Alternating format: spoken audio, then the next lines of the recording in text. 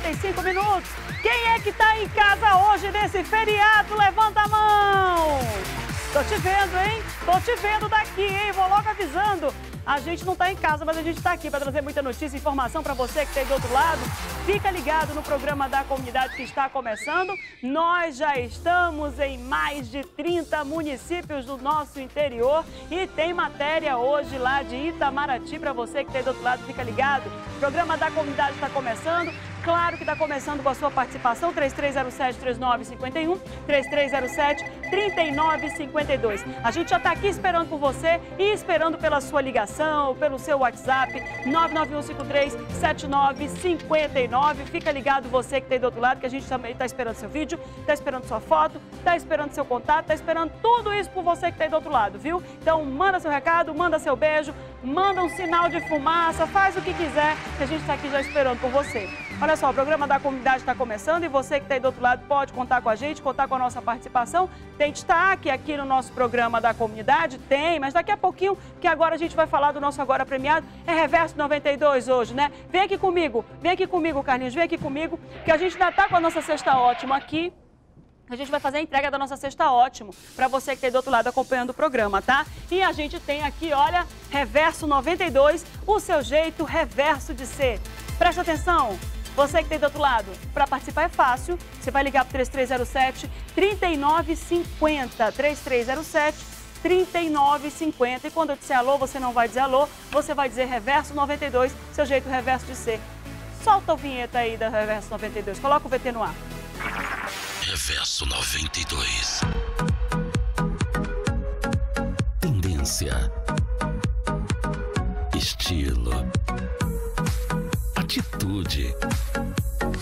Moda masculina e feminina. As melhores marcas você encontra aqui. Reverso 92. Y Shop São José e Shop Grande Circular. Reverso 92. O seu jeito reverso de ser. É o seu jeito reverso de ser, onde você encontra moda masculina, moda feminina. Fica ligada aí em tudo que acontece na moda e procura Lene Nascimento. São dois endereços, fica no Y Shopping São José e na Grande Circular. Então você que está do outro lado fica ligado e fica na moda com a Lene Nascimento, lá na Reverso 92. Mas a gente falou aqui que tem a Sexta Ótimo, que está aqui, e ontem teve ganhadora do nosso agora premiado da Sexta Ótimo, e a Deusimar já está aqui. Vem pra cá, Deusimar! Tudo bem?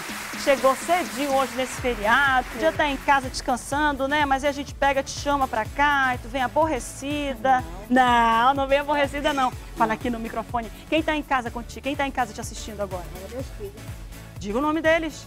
Rayane Que eu Davi. vou mandar beijo pra todo mundo, mas fala devagar, vai lá. Rayane Davi. Hum, ah, Rayane, um grande beijo, Davi. Hum, ah. Maria. Alice de Neto, que fez aniversário ontem. Eita, Maria Alice! Hum, podia ter trazido um pedacinho desse bolo pra gente aqui Ah, hoje, né? Deus não. Ah, não teve bolo, não? Não, não. Quantos anos ela fez? Um ano. Ela fez um aninho? Um ano. Mas não teve nenhuma festinha assim, nada? Não, não, não. Nem sabe mesmo, né? Festa de um ano pra criança, quem faz é mais pros pais do que pra criança. Porque a criança quer mesmo ficar em casa brincando com as bonecas. E a gente faz aquela confusão, os pais fazem aquela confusão e a criançada quer ficar em casa mesmo, né? Mas tá ótimo. Mas vai ter, sim, só, só no próximo dia 5. Ah, vai ter no dia. Vai, Vai ter ter, festa vai, então no vai, dia 5? vai. E aí depois da festa ela vai trazer meu pedaço de bolo? Mentira, que nem vai nem lembrar. 10 horas e 59 minutos. Quem foi que veio com a senhora? Meu esposo, ele. Ele que vai carregar essa cesta? Isso, isso. Ele veio de bermuda. Veio de, veio Veio de de bermuda. bermuda, né? Olha, vamos liberar a entrada do esposo dela lá na portaria para poder ela carregar essa cesta, porque essa aqui é a cesta ouro das cestas, ótimo, e ela vai levar para casa. Manda beijo para quem quiser aí, além dos filhos, tem mais alguém? Minha mãe, Dagmar, minha irmã Luciene. Dagmar. Obrigada, viu, Deusimar? Um grande beijo para todo mundo lá do, do, Do Novo Israel também, tá? Tá. Isso aqui é para tu falar nele, ó. Ok, tá Isso, ok. quer me entregar antes de terminar de falar, né, Deusimar? Tem problema É. não. É que eu tô nervosa. Tá nervosa Tô nada, tá toda arrumadinha, tá ótimo. Obrigada pela audiência, viu? Tá, Olha, pessoal, qual qual é a idade dos teus filhos? Eu perguntei isso? Qual a Tenho- idade dos teus filhos? Tem um com, 20, um com 22, Ah, 20 e 18. Menina, a gente pensando que é tudo filhinho pequeno, eu mandando beijo, peixinho, o coração explode, é tudo já marmanjo. É, Tá todo isso. mundo em casa, né?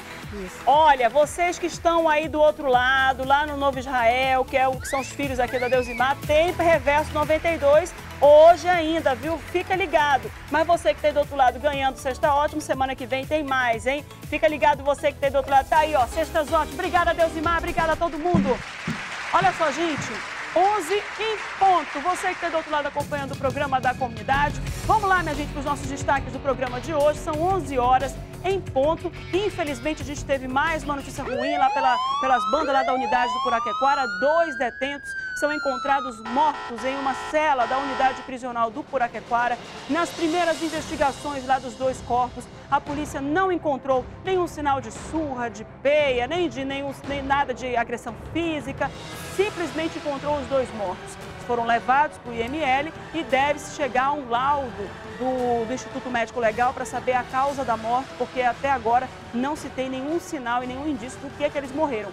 Desconfia-se que tenha sido por overdose, mas a gente vai acompanhar essas informações vai trazer os primeiros detalhes aqui no programa da comunidade. Vamos trazer também uma cabeça encontrada no Morro da Liberdade, Zona Sul, na manhã de hoje, sob uma ponte. Para você que está acompanhando aí as notícias do programa da comunidade, e de todos os telejornais que estão aí na, na, na, no ar, né, nas, nas, emissoras, no jornalismo, é, a gente sabe que foram encontrados alguns corpos decapitados, infelizmente, e a gente sabe que alguns desses corpos ainda não tiveram a cabeça encontrada. Então a polícia vai agora tentar identificar essa cabeça que pode ser de um desses corpos. A gente também vai trazer informações lá da raiz, também na zona sul da cidade, porque aí foi no Morro da Liberdade, zona sul, sobre uma pessoa encontrada morta na raiz. São dois casos que a gente vai atualizar para você que tem do outro lado da nossa ronda policial do programa da comunidade.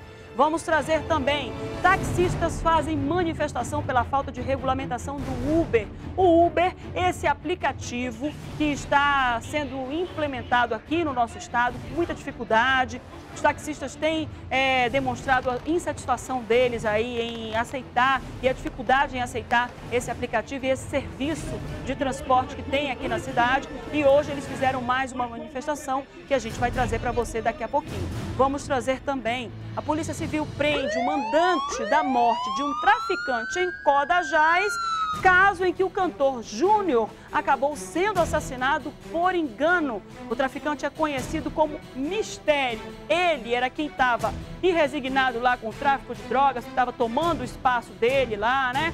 O outro traficante que supostamente era, era quem deveria ter sido morto no lugar do Júnior e ele foi quem mandou executar esse traficante e acabou que o Melvino foi quem foi assassinado destaque de polícia que a gente vai trazer para você que está aí do outro lado. E hoje nós vamos conversar também nesse feriado com a senadora Vanessa Graziotin, que já está aqui nos nossos estúdios. Vamos conversar com ela sobre mais um embargo da BR-319.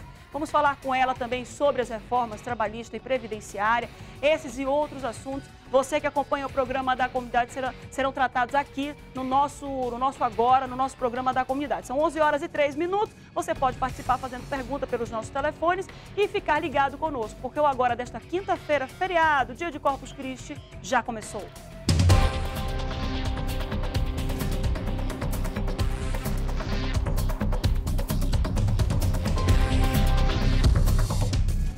E a gente já começa aqui o nosso primeiro bloco do programa para conversar com a senadora Vanessa Graziotin, que está segurando a cartilha. Já vi que a senhora está segurando a cartilha aí.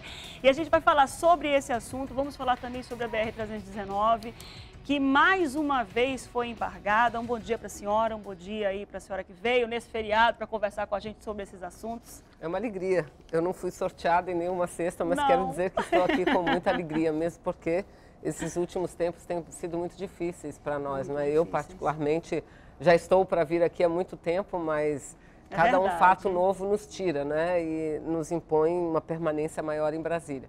Mas, lamentavelmente, a gente não vem também para tratar de assuntos bons. Quero dizer que fiquei extremamente impactada com as notícias uhum. que você uhum. deu e aqui pensando como a vida está banalizada, banalizada gente. Banalizada. Eu acho que nós todos precisamos parar para pensar o que é que está acontecendo não só no nosso país, mas no mundo, a quantidade de pessoas que morrem assassinadas é, aqui no nosso país é muito maior do que as pessoas que morrem em decorrência das guerras. Você veja da a cabeça. Síria, por exemplo. Pois né? é, olha, dois, só hoje, não é? Dois detentos que você deu a Isso. informação mortos, apareceram mortos na cela, Na não cela. sabe se por quê. Uma cabeça encontrada numa ponte, ou seja, a gente tem que parar um pouco para pensar o que é que está acontecendo. Eu acho que nós que fazemos política, nós principalmente temos uma grande responsabilidade, porque o momento pelo qual passamos é um momento muito difícil, um momento muito ruim, porque nunca se revelou tanta ação eh, de corrupção como agora. E tem muita gente que diz, ah, tudo começou agora. Não, Tudo está sendo revelado Está sendo agora, revelado né? agora. Você veja, nós estamos completando é, 30 anos da lei da 30 anos da lei que trata da improbidade administrativa. O que, que significa isso? Porque eu dei uma entrevista longa é, a um órgão de imprensa nacional sobre isso. A lei que criminaliza o agente público que é, malversou recursos públicos, ou seja, que cometeu corrupção, que surrupiou. Não é? Tem 30 anos só essa lei. A gente vem avançando na lei da transparência. Hoje, tudo, por exemplo, que os senadores fazem, que os deputados fazem, tem que estar no portal. O que um prefeito faz, um governador, tem que estar no portal da transparência. É óbvio que não funciona ainda tudo 100%, mas está avançando, né? Então, enquanto Eu, isso... acho, eu, eu penso que nesse momento em que a gente está vivendo e vendo tanta movimentação, antigamente a gente não podia conceber que políticos é, de cargos super altos, como a gente diz, claro que todo político é político, mas a gente nunca poderia conceber que um presidente da República, que um deputado federal ou que qualquer cargo político tivesse um desfecho, como a gente tem acompanhado aí esses desfechos. Antigamente a gente dizia que juiz não ia preso e quantos investigados nós já trouxemos. Então, eu penso que é, é, esse é um primeiro passo para que o Brasil se torne uma nação evoluída nesse aspecto. É? Claro, você veja, hoje você tem vários é, ex-parlamentares que estão presos, vários ex-parlamentares, alguns inclusive foram presos no exercício do mandato. Outros têm estão suspensos das suas atividades, como o senador Aécio Neves, que foi candidato à presidência da República no último pleito. Ele está suspenso, não é porque não porque há uma denúncia, porque sua irmã está presa, mas está preso também um procurador da República, um procurador da República que atuava nessas investigações e que também foi denunciado com provas de que estava contribuindo, passando informações para uma empresa, empresa investigada. Então, o que nesse, nesse momento que nós estamos vivendo, o que a gente diz é o seguinte: não vamos misturar o joio com o trigo, porque tem muita coisa errada, tem, mas acaba que todos são denunciados e aqueles grandes corruptos acabam sendo libertados, acabam sendo livres. Então, é preciso ter uma certa noção do que se faz para a gente poder fazer a limpeza. E muito importante é a reforma política, porque não adianta nada você só punir, você tem que punir de um lado e de outro lado você tem que mudar as regras da política. Eu, por exemplo, meu primeiro projeto, Márcia, quando cheguei em Brasília, foi apresentar a, a um, um- criar um fundo democrático de campanha em Brasília. Eu era deputada ainda federal eleita no meu primeiro mandato. Por quê? Porque não dá para a empresa contribuir para A ou B. Ela tem que contribuir para um, um- um- um bolo e aquele bolo ser distribuído democraticamente. Aí diz assim, ah, mas a senhora não pegava contribuição? Sim, porque a lei nos obriga a fazer isso. Ou então a gente está fora. Só que não é porque a lei está aqui que nós não temos que lutar para mudá-la. E esse comportamento também ele dificulta os aqueles, aquela troca de favores, porque a gente vê muito que algumas empresas colaboram com determinados mandatos para no futuro dizer, olha, vamos fechar aqui um contrato. E quando ela contribui e não sabe para que político que vai, Claro. não existe troca Não de existe, favores. exatamente, não existe essa relação direta que não deve existir. Aí veja, nós que lutamos sempre, nossos projetos nunca eram aprovados. Aliás, um projeto meu no Senado, porque eu tive a sorte de pegar o senador Requião como relator, conseguimos aprovar na Comissão de Constituição e Justiça a proibição do financiamento empresarial de campanha, mas o projeto não evoluiu. Aí veio o Supremo Tribunal Federal e julgou inconstitucional essa contribuição, essa contribuição empresarial às campanhas. Mas depois de muito tempo, por quê? Porque era exatamente o ministro Gilmar Mendes que pediu vistas ao processo e sentou em cima. E aquela época era o maior defensor, o ministro Gilmar Mendes, todos sabem que é o presidente do TSE, que deu o voto de Minerva em favor do atual presidente da República. não é? Então ele sentou em cima, porque à época ele era o maior defensão, defensor do investimento de empresas privadas nas campanhas eleitorais. Com a revelação dos fatos, não há mais quem publicamente defenda isso.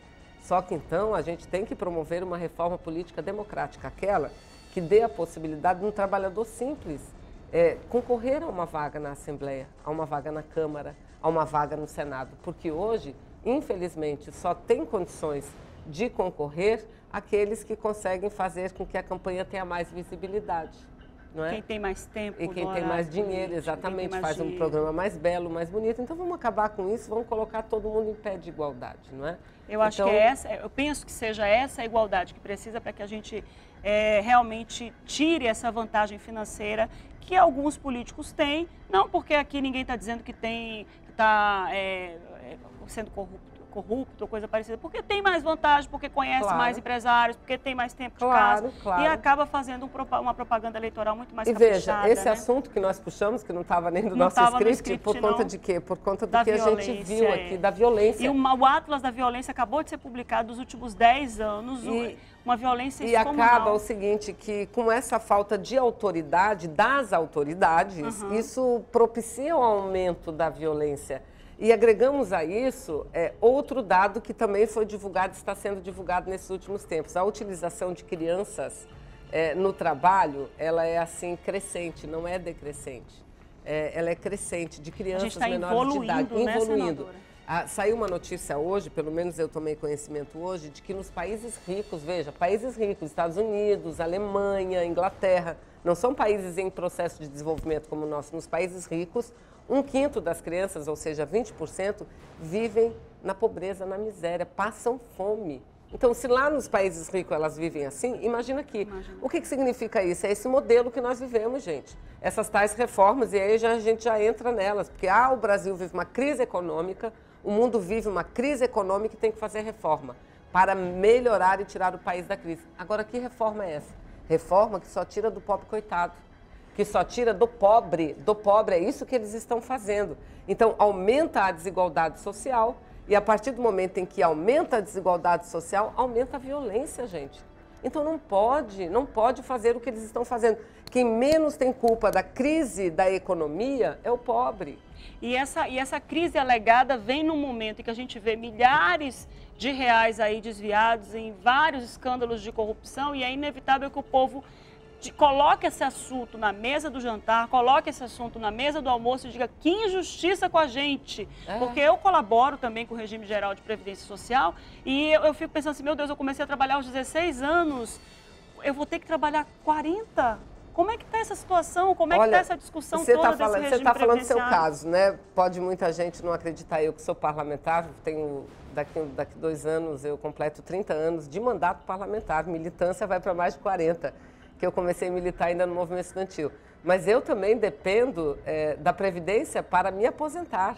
Eu não tenho uma outra, eu não tenho uma outra fonte de sobrevivência que não seja essa Previdência, uhum. aliás.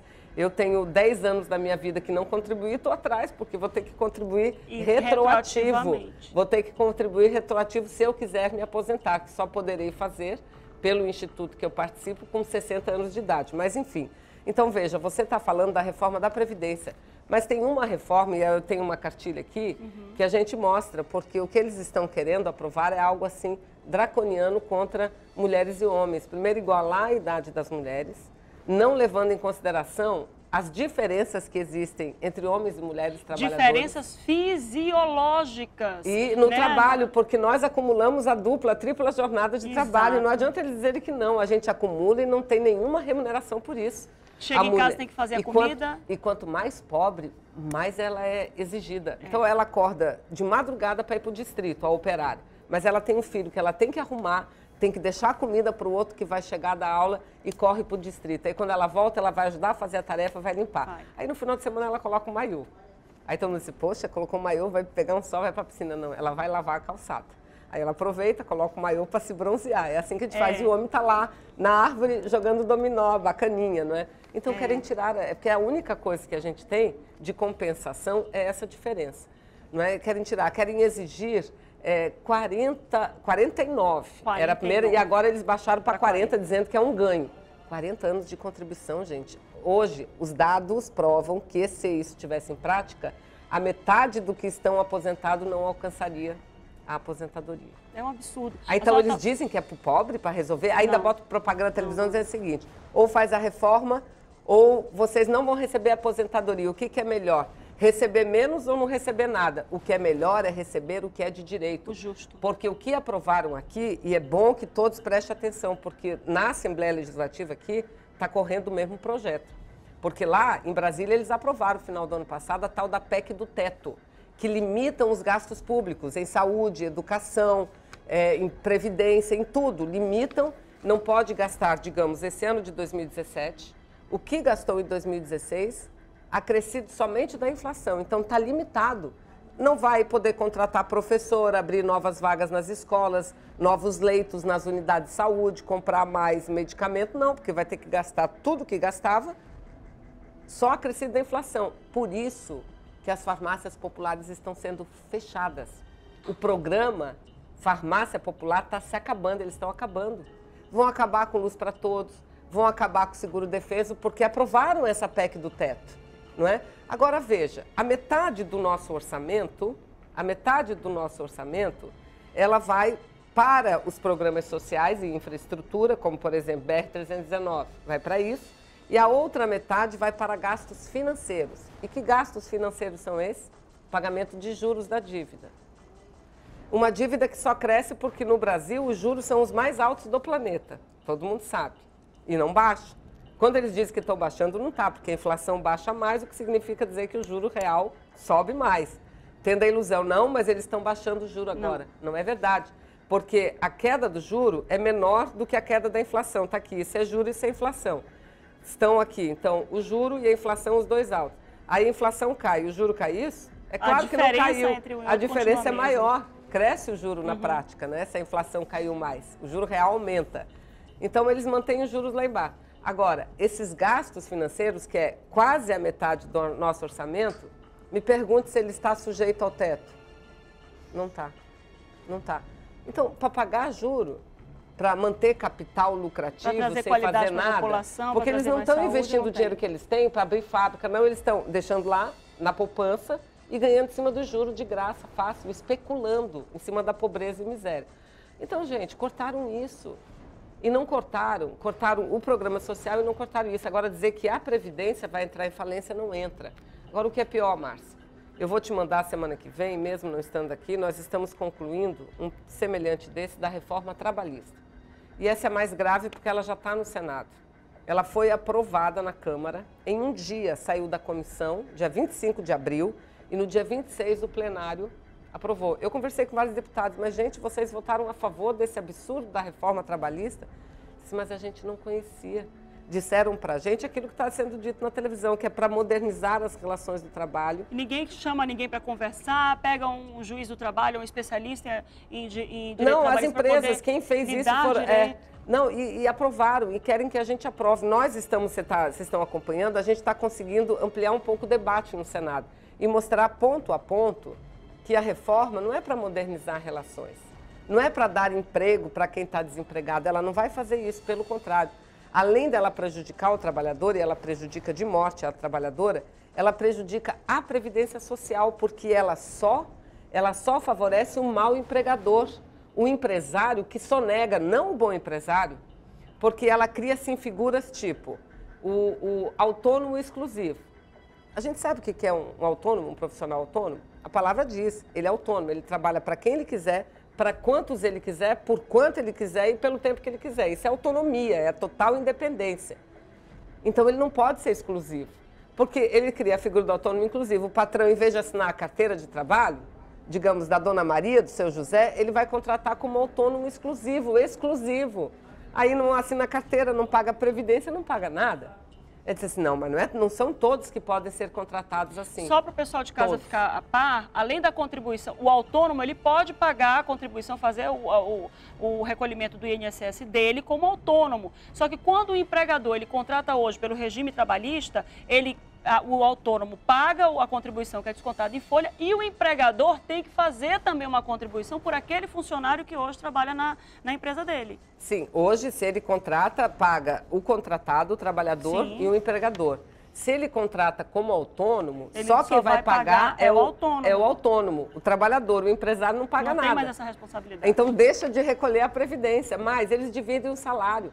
Eles dizem que, por exemplo, teu salário, salário de qualquer um, digamos que a pessoa ganhe dois mil reais. Aí o empre- o empregador pode dizer, dos dois mil reais que esse meu funcionário ganha, é, 500 reais é um abono, é um prêmio que eu estou dando. E pode ser mensalmente, todos os meses, a vida inteira.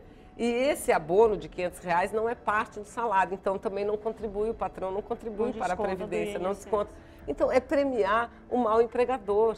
Querem que mulher grávida, lactante, trabalhe em lugares insalubres, gente. É isso que está lá na lei.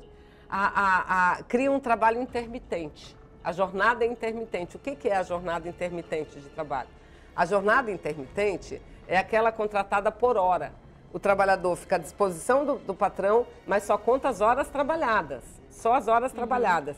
E ele, no final do mês, só vai ganhar pelas horas trabalhadas. Vou pegar um exemplo do motorista que trabalha para aquelas empresas que transportam os operários para o distrito. Eles trabalham um pouco De de, manhã, um pouco à tarde.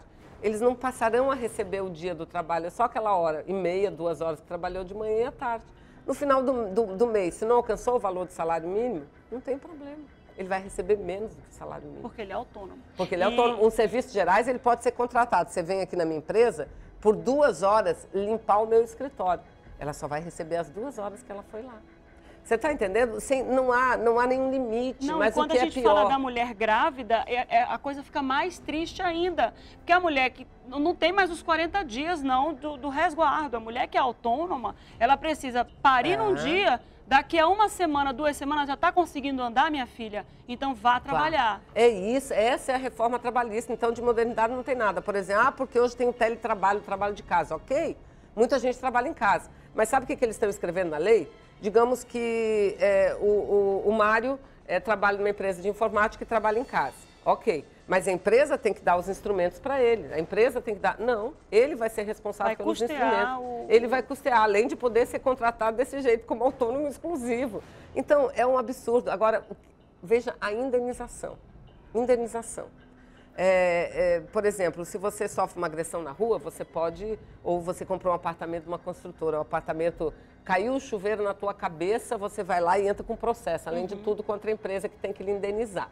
Então, no âmbito civil, é, a indenização não há um parâmetro. Quem decide é o juiz, pelo, levando em consideração o dano do, do, do sofrimento, da agressão é, que a pessoa sofreu. Então, não há limite para nenhum, para nenhum setor da justiça. A justiça trabalhista, eles estão dizendo que tem que ter limite. Então, eles na prática estão acabando com a justiça trabalhista. Então, aí eles dizem quanto é que vai valer uma indenização. A indenização vai ser paga eh, se for média e só se for residente. Na primeira vez não tem direito a nada, agrediu a primeira vez pode só se for residente, que aí sim já pode reclamar. Mas aí tem o grau, o grau baixo, médio e alto. Qual é o limite que eles estão colocando nessa lei? por quantidade de salários que a pessoa agredida recebe. Então, veja, no, num local de trabalho, você tem uma operária do chão da fábrica e tem uma administrativa, ou um operário e um administrativo. O administrativo ganha 10 salários mínimos, a operária ganha uma. Digamos que os dois sejam violentados, ou os dois sofram uma mesma agressão, e entra na justiça dois. Aqui ganha um salário mínimo, se for leve, Que é hipossuficiente, Hipos, que é muito ela vai ganhar quanto? 10 salário mínimo de indenização. O que ganha 10 salário mínimo vai ganhar 100 salário mínimo de indenização pela mesma agressão. Isso, gente, além de ser inconstitucional, é desumano. Porque nós já vivemos numa sociedade que as pessoas são discriminadas por classe social de acordo com o salário que ganham. E agora a Aí, própria justiça vai humanamente, a própria seleção. é inconstitucional. Só que eles querem aprovar do jeito que está. O próprio relator, que é de um partido da base aliada, que é do PSDB, lá do Espírito Santo, ele é, ele é meio brigado comigo, sabe por quê?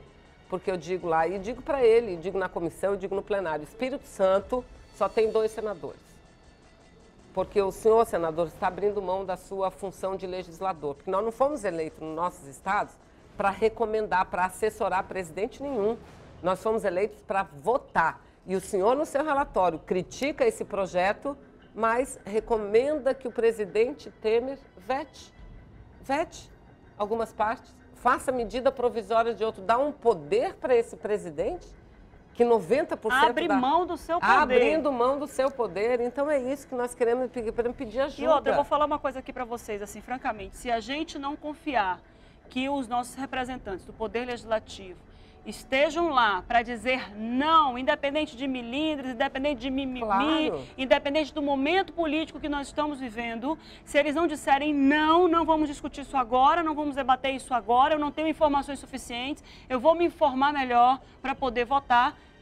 Que personalidade é essa? Claro, olha, aqui no estado do Amazonas eu, eu fico até feliz, eu acho que nós estamos caminhando bem. Somos três senadores, dois senadores já têm uma posição declarada e tal, ao contrário, aliás, os três têm. Mas, infelizmente, o senador Omar, ele foi muito vítima, porque teve um, uma semana doente e não foi votar. E quem votou no lugar dele votou a favor numa comissão desse projeto, não é? Aí as redes sociais, a gente sabe como é, divulgou muito é, que ele estaria sendo vendido, trocando por cargo e tal. Eu falei, de jeito nenhum, ele está doente. Quando ele votar, voltar para cá, ele vai votar contra. Ele vai votar porque, assim como eu, todos nós três temos a convicção da gravidade que isso representa contra os trabalhadores. Aí diz, não, mas é para acabar com o monopólio daquele sindicato pelego. Isso não é nada perto do conteúdo que tem o projeto. Eu estou mandando para você, eu já fiz dois votos separados lá, grandes, e já estamos preparando um terceiro voto separado, que é para a Comissão de Constituição e Justiça, que é para analisar somente a constitucionalidade. É, ele destrói a Constituição, apesar de manter lá o direito da férias, por exemplo. Ah, mas o que está na Constituição está garantido, férias. O que, que eles querem fazer com as férias? Poder dividir em três. Aí dizer que é o trabalhador que vai escolher qual é o período que quer gozar. Isso não é verdade, gente. A fábrica do distrito vai dizer, olha, no mês tal, digamos, é, no mês de maio, é, um, que a, é onde eu tenho a menor encomenda, então eu vou parar parte da minha, da minha, do meu setor de produção e vou dar férias de 10 dias para o meu trabalhador. Se o trabalhador não aceitar essas férias, ele está no olho da rua mais, eles criam, sabe o quê? Uma quitação anual. Uma quitação é, é, de, de pagamento salarial e recursos trabalhistas anual. Por exemplo, no, a gente não paga conta de água e luz? Uhum. No final Todo de cada ano. Eles são obrigados, tem uma lei que determina isso, deles darem essa quitação. A quitação, porque daí a gente rasga as cinco, as, contas as, as 12 contas e fica uma quitação. Na área das relações do trabalho não pode, pois agora eles estão criando. Aí, Ou no seja, final eles estão querendo forçar ano, o, empregado é. a assumir que eu não te paguei, mas você vai dizer que recebeu e está tudo bem, fica tudo Pronto, ótimo. Pronto, não precisa dizer mais nada, no final de cada ano. Eu já acho um absurdo a legislação do FGTS ter mudado, que é. agora você, antigamente, você podia é, é, ir para a justiça e exigir os pagamentos retroativos do FGTS de até 20 anos, era a prescrição vintenal que eles chamavam. Hoje você só pode aos 5 anos. Então, se é de repente uma empresa que não faz o depósito do FGTS, você completa 6 anos nessa empresa, 7 anos, porque você é um bom funcionário, você trabalha direitinho e tudo, completou 8 anos. Se sair e a empresa não depositou todos os 8 anos do FGTS, o que, que vai acontecer? Você só pode pedir os últimos 5. Então, Tem um prejuízo de 3 anos. Então, eu não preciso dizer mais nada. Você disse, essa quitação é isso, porque geralmente o trabalhador ele reclama na Justiça do Trabalho seu direito não pago quando ele é demitido porque há, muito, há muita rotatividade no mercado de trabalho Sim, no Brasil. Quem é que vai arriscar botar é, o Então, se ele for reclamar agora, por exemplo, digamos que o, o patrão dele na fábrica ele deixou de pagar 30 horas de horas extras naquele ano. Aí ele assim, poxa, se eu for reclamar, ele vai e pede lá, ele vai no setor do pessoal, pede, entra lá, mostra os documentos, não, meu senhor, está tudo certo, aí ele fica quieto. Porque se ele for entrar na Justiça do Trabalho reclamando daquilo, o que acontece? Perde o contrato de trabalho. Ele é perde. Então, geralmente, quando ele é demitido por conta da rotatividade, aí ele é demitido, ele vai lá na Justiça, pronto, não vai mais poder ter isso. Porque cada final do ano ele vai dar um atestado. E, no, e, já pensou no fim do ano, é mais um motivo, infelizmente, de pressão no empregado. Gente, não existe. Nós estamos num momento de desemprego, são 12 milhões de desempregados. É, a gente vê 14 o empregado... milhões 14 agora, 14 milhões, 14 milhões de 2 milhões e 600 mil a mais nos, nesse último ano. Eu tenho uma comadre que ela está desempregada, ela e o marido, há quase dois anos. Eles estão vivendo numa situação precária. Isso é uma vergonha. E aí agora o empregado vai ter mais uma pressão. Porque quando chegar o empregador no fim do ano e disser assim, assina aí, vai dizer, não, mas eu não quero assinar. Assine. Ou ele assina, ou ele vai ser demitido. Um absurdo. Eu não sei não. Olha, o, o Brasil, ele sempre foi um país muito é, acolhedor, aconchegante. Todo mundo vê o Brasil como um país muito alegre, muito feliz, mas está sendo um padrasto. Um outro item, eu vou aqui me lembrando, são muitos, eu vou me lembrando aos poucos, por isso que eu vou te mandar um outro item do projeto. Ele iguala, ele iguala na CLT, ele muda a CLT para igualar a demissão individual com a demissão coletiva. Hoje, pela lei, para demitir coletivamente, ou seja, uma empresa que tenha que queira demitir 50 funcionários, 30 funcionários, de acordo com o tamanho, digamos, a empresa tem 100 funcionários e queira demitir 20, tem que comunicar ao sindicato, tem que fazer um plano para aqueles trabalhadores. Não precisa mais não. Ele pode demitir um ou mil da mesma forma. Você já pensou? Absurdo, é né? essa modernidade que eles tanto Não, falam? isso é castigo, não é É castigo, por isso que eu estou dizendo. Então, eles querem tirar o- a crise que eles criaram, tirando o direito dos trabalhadores, aqueles que estão na ativa, e isso está para ser votado, gente. Está marcada agora, terça-feira, a votação da segunda comissão no Senado Federal. A primeira comissão teve briga, briga quase de tapa. Assim, teve até de encostar, mas quase de tapa. Né? Eles não estavam querendo cara, deixar... né? Não baixa olhar, não. Teve em cara. É, é, Foi foi feio. assim. A segunda, queriam votar no mesmo dia, a gente foi para cima, negociamos. O cumprimento do regimento a gente tem que negociar. Então, é preciso que haja essa mobilização, que todo mundo conheça e converse com a sua senadora, converse com o seu senador, para que a gente não permita que isso aconteça. Eu digo, olha, eu não sou contra o empresário, mas essa lei é ruim para o empresário. Ela só favorece para o sonegador. Então, um Estado fraco não serve nem ao empresário, aquele que quer investir. Serve, serve. apenas àquele que quer especular. Vamos falar rapidinho do embargo da BR-319? Então, olha quantas De vezes a novo, gente né? veio aqui, né? Em Várias. 2015 foi uma novela, gente. E agora, novamente, conseguimos manter. E qual foi a nossa vitória? No finalzinho de 2015, nós passamos um ano lutando. Né? O DENIT, os, os parlamentares municipais, estaduais, os federais, todos nós, todos juntos, o setor de indústria, trabalhadores, os municípios, para conseguir a manutenção permanente. Não é para recuperar, para asfaltar. Agora, de novo, eles embargam com a mesma justificativa. Está havendo descumprimento. Está havendo descumprimento. Mas olha, gente, se está havendo descumprimento, se a empresa contratada pelo DENIT está cometendo mal feito, vai lá. Vai lá, o Ministério Público, vai lá o órgão ambiental, está com uma multa e diz, olha, só tem 10 dias para repor. a obra. Antes de parar. Mas não embargar a obra toda. Aí, veja, tem o, o- o superintendente do IBAMA aqui no Amazonas, ele até deu uma entrevista recentemente à imprensa, porque a ele foi perguntado por que, que o senhor acha né, que isso acontece tantas vezes. Aí ele disse de uma forma assim bem simplista, ora, porque tem muita gente que não tem interesse que a BR não seja construída. É, É como se é fosse uma coisa normal, uma coisa corriqueira. Isso não é a gente defesa ouve. do meio ambiente. Isso não é. Eu defendo o meio ambiente, todos nós defendemos o meio ambiente. Mas isso aí é defender o isolamento nosso, é você embargar toda uma região para eles futuramente virem explorar do jeito e da forma que quiserem. Né? Tá lá, todo mundo fala que o governo, esse governo deve mandar um projeto abrindo a venda de terras na Amazônia para estrangeiros, gente. Então, se pegar isso, a tudo que fazem contra a BR-319, ou seja, semana, a gente já vai ter a primeira audiência pública terça-feira, lá na Comissão de Infraestrutura do Senado Federal, teremos essa audiência pública. É, eu devo conversar com o Ministério Público ainda esse final de semana. É, doutor Rafael, já fizemos contato com o doutor Rafael para ver como é que a gente resolve é, rapidamente isso e dentro do, do interesse de todos, assistindo o interesse de todos.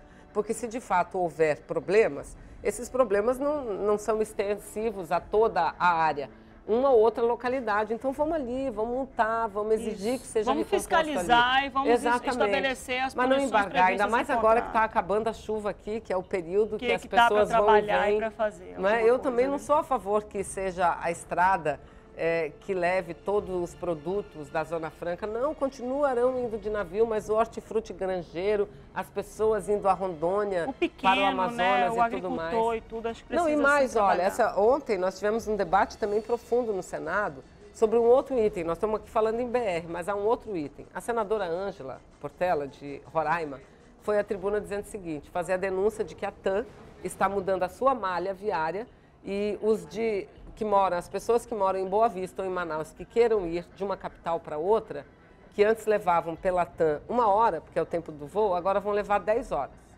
porque estão acabando com o voo direto. E para ir para Boa Vista, se quiser ir de TAM, vai ter que ir para Brasília, Manaus, Brasília, Boa Vista. Ou Boa Vista, Brasília, Manaus. Manaus. Veja, ora, gente, é, agora por que, que isso acontece? Porque eles não estão pensando nas pessoas, eles estão pensando no lucro deles, no lucro. Aí no a gente mesmo ouvi- voo, eles entregam, fazem duas entregas, né? Exatamente. E pega a gente é, de lá e é, faz... aí, aí não quer saber se a gente sofre ou não sofre. Não querem saber. Que é horrível fazer Que é horrível. Aí é a mesma coisa. Colocaram na lista agora de privatização o nosso aeroporto Eduardo Gomes. Nossa, gente. Que é o terceiro mais lucrativo do Brasil. Nunca, nós nunca deixamos colocar na lista. Olha, vamos começar um movimento. Querem privatizar o Eduardo Gomes? Não vão chamar a gente de radical. Ok, privatize. Mas junto com o Eduardo Gomes, coloque o de Tabatinga, Tapauá, Beruli, todos os municípios do Amazonas. Construam os aeroportos e mandem e mantenham. Um estado que depende de avião, Já que não tem avião, estrada, não pega o filé estrada. mignon e deixa a carcaça para o Deixa estado. a carcaça para a gente viajar de, ah, de, barco, que é um, é um monte de tempo, é. dias infindáveis, Exato. enfim. Rapidamente, eleições suplementares. Então, eu acho que aqui no Amazonas, é, nós temos uma tradição, tudo só se resolve na última hora do último dia. Eu quem diga isso, porque em 1912, praticamente recém-eleita senadora, tive que é, aceitar uma candidatura de prefeita em decorrência da desistência da nossa candidata à época, uhum. não é?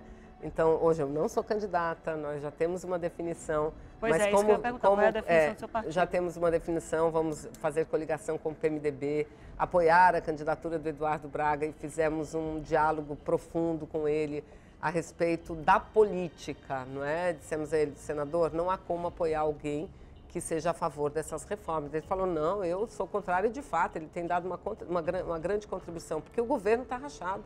O próprio PMDB, o líder do PMDB, é contra isso, porque está vendo a barbaridade contra os trabalhadores, né? Então, fizemos esse, esse diálogo na política e devemos marchar com ele, porque o que nós entendemos é que a disputa vai se dar em torno de dois grandes e fortes grupos os outros serão assim muito periféricos, né? Disseram, ah, mas a Vanessa não era bom ser a candidata para é, denunciar tudo o que está acontecendo. Eu acho que o mais importante não é cavar um espaço individualmente para mim, para o meu partido ou para a minha força política. É ter viabilidade de vitória para tirar, é, tentar tirar o Amazonas desse buraco que está, que infelizmente está no buraco e tentar fazer com que o Amazonas seja posto no cenário nacional de uma forma mais positiva, não é?